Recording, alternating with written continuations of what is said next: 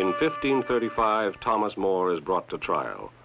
He is an embarrassment to the king, a living opposition to state policies. Henry must make an example of More. Why have I been called again? Under charge of high treason, Sir Thomas. Cromwell fabricates a case against him by creating evidence through perjury. Let us consider now the circumstances of the prisoner's silence.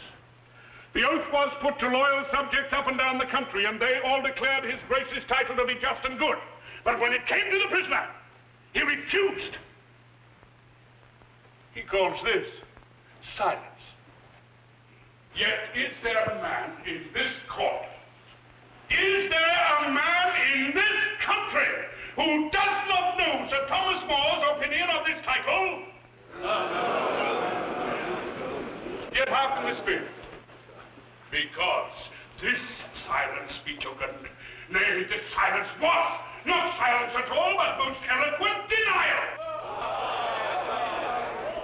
Not so. Not so, Master Secretary.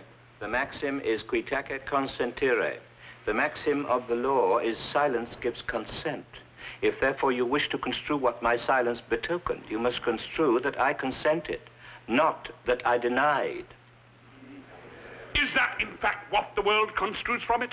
Do you pretend that is what you wish the world to construe from it? The world must construe according to its wits